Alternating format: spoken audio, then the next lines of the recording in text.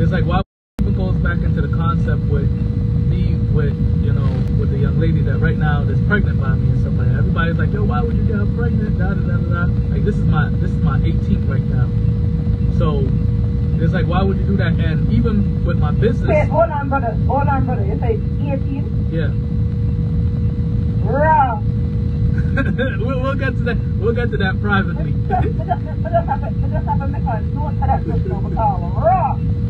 We'll get to that privately. I ain't gonna talk about that. Say your foot. Your foot karate. Mr. Bobo. Wow. um, yeah, you. yeah, you You just know, said me and you fool. Yeah. Coming out just me just say, why the number gonna pick me right just to say a second. And- You understand? and that's why you. That's why you be seeing me working hard. That's why I be. Yeah, man, you have to work Yeah, I be. I be putting in work. Like You can't leave me. I No can't. day, no time you can't leave me. No time, 18. And that's why I be telling my children. That's why I be telling my children, like, yo, even though y'all all come from different mothers, y'all all come from one unity. So y'all Right. all still brothers and sisters. And still, at the end of the day, you know, don't expect a fucking handout. Don't expect anything.